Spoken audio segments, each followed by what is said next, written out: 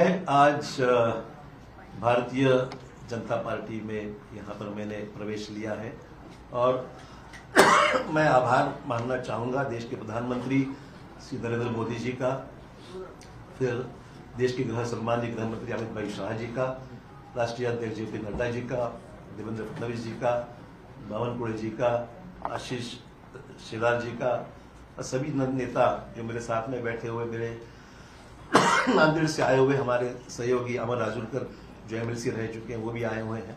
उनका भी प्रवेश आज हुआ है। मैं आभार मानूँगा भारतीय जनता पक्ष के नेतृत्व की। उन्होंने मुझे आज ये मौका भारतीय जनता पार्टी में आने, न्योता दिया और काम करने की यहाँ पर मुझे यहाँ पर संधि दी है, एक मौका दिया है।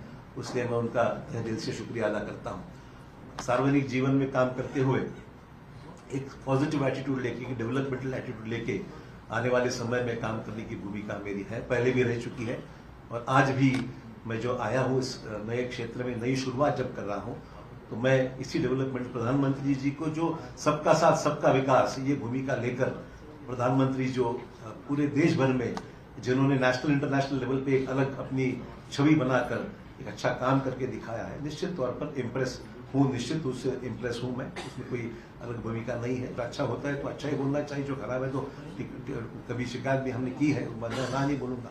और आज जब हम देख रहे हैं कि देश के सामने कई चुनौतियाँ हैं तो चुनौतियों के साथ साथ डेवलपमेंट भी जिस रफ्तार से इस देश में हो रहा है, हम सबके लिए बहुत ही प्रशंसनीय है। और आने वाले समय में हम सब साथी मिलकर देश में एक पक्की मजबूर भाजपा की सरकार लाने का हमारा प्रयास निश्चित तौर पर रहेगा।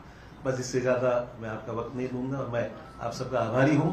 एक नई शुरुआत है, कुछ गलतियाँ छोटी मोटी होती है तो शुरू शुरू में संभाल लीजिए।